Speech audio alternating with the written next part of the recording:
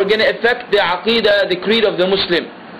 Yani, and the same thing happened with Imam Ahmad bin Hanbal rahimahullah, who at the time when the fitna happened, when they said that the Quran was created, the Sultan during the time wanted everybody to believe that the Quran was created. Now, what do we know about the Quran? The words of Allah. The Quran, the book now, they compiled it into a book. The Quran which was revealed upon Muhammad sallallahu alayhi wasallam was in the form of recitation. It is the words of Allah.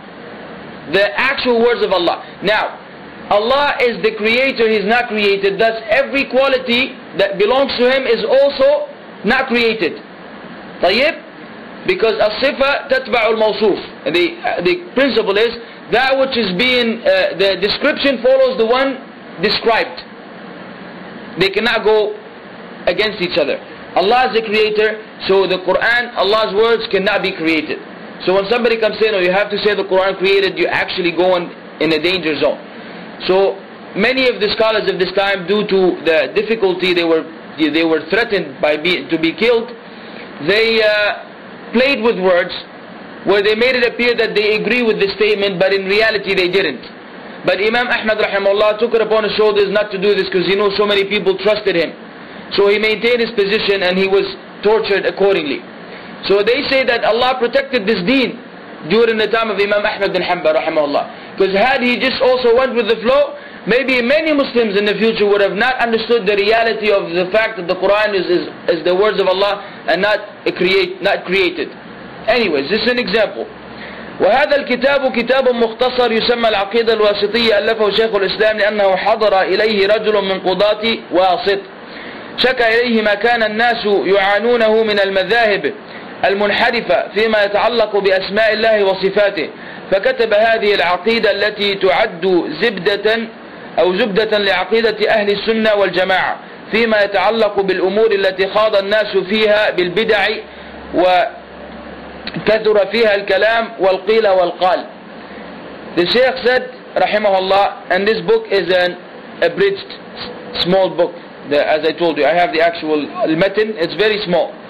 Called Aqidah al-Wasitiyya uh, that was authored by Sheikh al-Islam because a man came to him a judge came to him from a city called Wasit where exactly Allah knows best. And he complained to him what the people are suffering from from deviance in their methodologies in terms of what is related to the names of Allah subhanahu wa ta'ala and his attributes. So the Sheikh compiled or uh, authored this particular uh, book Al-Aqidah Al-Wasitiyya which is considered to be the the essence of the Aqidah of Ahl Sunnah wal Jama'ah uh, dealing with what people have have started to dwell into from innovations and uh, too much talking and too much he said and they said. And yani people started using their intellect in order to understand the revelation. And the principle is you do not do that. There's no contradiction between in intellect and revelation but some people may be deficient in the mind so if you're unable to understand then you don't negate the revelation saying oh, this, this cannot be from Allah Habibi if you don't understand this is an issue in and within you somebody else understands so not every time you measure something go to the brain it doesn't make sense so you say no there's no way this could be from the deen طيب so uh, especially if it's been authenticated we're dealing with things that are authentic وقيل وقبل أن نبدأ الكلام على هذه الرسالة العظيمة نحب أن نبين أن جميع رسالات الرسل من أولهم نوح عليه الصلاة والسلام إلى آخرهم محمد صلى الله عليه وسلم كلها تدعو إلى التوحيد He said before we initiate the talk about this excellent letter which was compiled by the Sheikh we would like to uh, we would like to clarify that all of the messages of the messengers beginning from Nuh alayhi salatu salam all the way to Muhammad sallallahu alayhi wasallam all of them called to what what did they call to ya akhwan توحيد توحيد what is توحيد ممتاز قال الله تعالى وما أرسلنا من قبلك من رسول إلا نوحي إليه أنه لا إله إلا أنا فاعبدون سورة الأنبياء verse number 25 أنبياء is the prophets Allah subhanahu wa ta'ala says uh, interpretation of the meaning وما أرسلنا من قبلك and we have not sent before you a messenger except that we reveal to him that there is no God worthy of worship but me so worship me. This is what every messenger was given as a message. But beginning with Nuh, Abraham, Moses, Jesus, David, Solomon, Isaac, Ishmael, and you name it. Same message. لا إله إلا الله. وقال تعالى ولقد بعثنا في كل أمة رسولا أن اعبدوا الله واجتنبوا الطاغوت Allah says in Surah An-Nahl in verse 36 And we have sent forth in every nation a messenger that you shall worship Allah and abandon the taghut. The taghut is uh, from the word uh, tughyan and tughyan is mujawazatul had which means transgression. So any one who is uh, a transgressor or the one who accepts to be worshipped is called the taghut. Anything worshipped besides Allah is called the taghut because worshipping it is a form of transgression. You mean statues or something? Anything. Taghut is a statue, taghut could be the shaitan is the biggest taghut. Or anyone who accepts to be worshipped. It could be a human being. Fir'aun, he was a taghut. Hmm? فكذب وطغى. What, uh, ayah does it say in Nazi'at? You remember the, the verse in Nazi'at? هل أتاك حديث موسى إذ ناداه ربه بالوادي المقدس طوى إنه اذهب إلى فرعون إنه طغى The word طاغوت comes from the same word طغيان which is مجاوزة الحد which is uh, exceeding the limit transgression نعم From طغيان. نعم. The root word may be طغيان. طغى is the verb. Is the past tense. You say هو طغى. طيب. وذلك أن الخلق خلقوا آه، لواحد وهو الله عز وجل. خلقوا لعبادته لتتعلق قلوبهم به تألها وتعظيما وخوفا ورجاء وتوكلا ورغبة ورهبة حتى ينسلخوا عن كل شيء من الدنيا لا يكون معينا لهم على توحيد الله عز وجل في هذه الأمور لأنك أنت مخلوق لا بد أن تكون لخالقك قلبا وقالبا في كل شيء The Shaykh, may Allah be him, said, and the reason why is because the creation were created for one. And he is Allah, it is Allah subhanahu wa ta'ala. They were created to worship Him. Huh? What's the evidence for that? What's the evidence that we were created to worship Allah alone? Because he sent messenger who There's did a verse in the Quran, clear like the sun, that tells you why you were created. Anyone?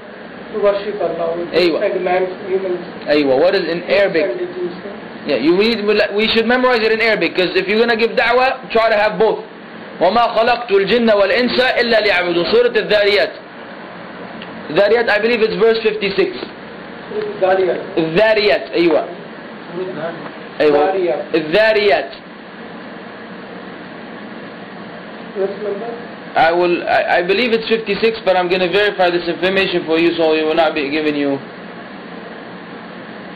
Here we go, Dhariyat.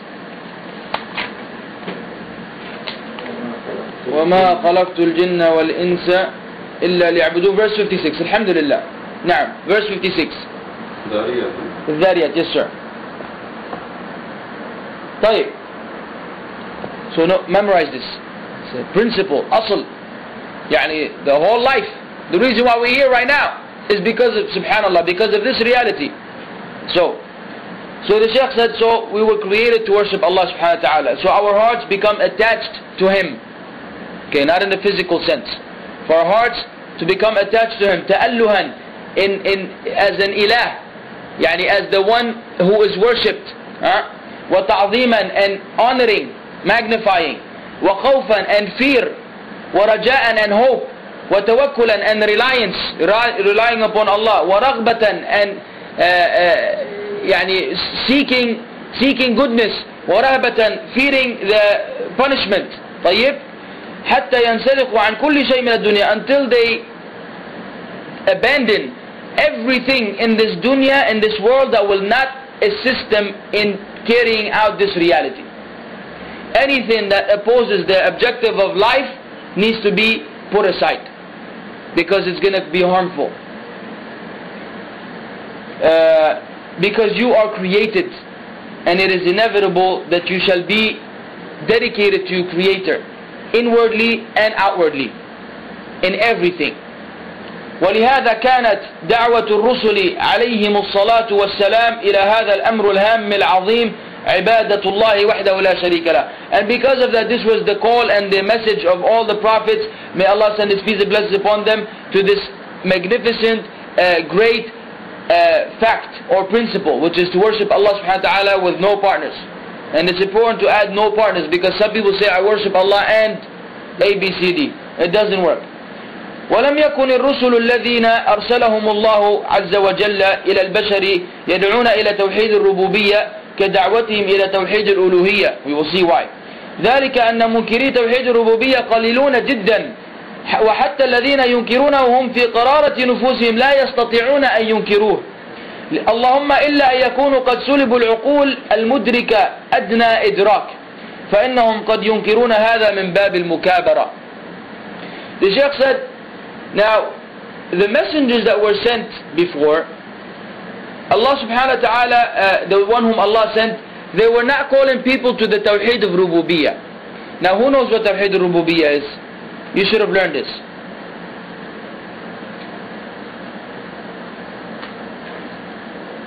Yes?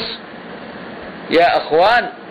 I told you maybe we should have done the other uh, uh, more uh, less advanced books. Because these are things we need to have before we go here. No problem. Yes, sir. It's, uh, to believe that Allah is the creator, hmm the controller of the affairs of the universe, Exactly. the provider and all. Exactly. Barakallah feek. Tawheed al-Rububiyyah comes from the word Rabb. Rabb means the Lord. The Lord means the one who takes care, of, the caretaker. Thus, He's the creator, He's the owner. He's the one who arranges our affairs every aspect of uh, uh of rububiyyah deals with things that only Allah subhanahu wa ta'ala does. Who is there a creator alongside with Allah? No. Huh. Is there a sustainer besides Allah? No. Who owns everything? Allah. These are all Tawheed al-Rububiyyah because they deal with the Lordship. Okay? Tawheed al-Uluhiyyah from the word ilah and the, lafz al-Jalala, Allah is derived from that term. طيب? This deals with worship. So there's Tawheed dealing with Allah being the creator, the sustainer, the owner. The Jews and the Christians agree with us on the same Tawheed al-Rububiyyah. If you tell the Christian or the Jew, who created the heavens and the earth? They tell you God. If you tell a statue worshipper, who created the heavens and earth? They will tell you God or some power. But they admit. When you tell them to invite Allah, uh, worship Allah alone, they say, I, I can't.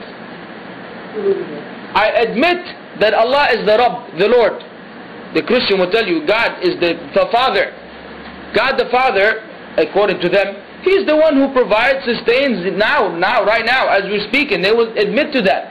And Allah says in the Quran, وَلَئِنْ سَأَلْتَهُمْ مَنْ خَلَقَ السَّمَاوَاتِ وَالْأَرْضِ لَيَقُولُنَّ اللَّهِ and the disbelievers of Quraysh were of the same belief system. Allah says in the Quran, and if you were to ask him, interpretation of the meaning, if you were to ask him who created the heavens and the earth, they would tell you Allah. The disbelievers of Quraysh, who had all these statues around the Kaaba, they used to believe that Allah is the creator. They didn't think their statues created these things. But they had an issue in the second part of Tawheed, which is what makes us Muslims. Three kinds of Tawheed. Rububiyyah, we share it with the majority of people on earth. That's what the Shaykh was saying here. He says those who deny it are very little. Very little those who deny, unless somebody, yani the atheist. He said, and even the atheist, deep down inside in his heart, he knows that he's just prideful. He's just arrogant. Otherwise, it's something you cannot deny. As it was said to Abu Hanifa, they say it was Abu Hanifa, may Allah have mercy on him. A bunch of atheists came to him and told him, uh, prove to us, you prove to us that there's a God. I mean, you haven't seen him, you haven't spoken to him, you haven't nothing, touched him, nothing. Prove to us that you have a God. He told them, give me some time. They came back to him. They said, uh, yes. He said, I'm thinking. They said, what are you thinking about? He said, I'm thinking about a ship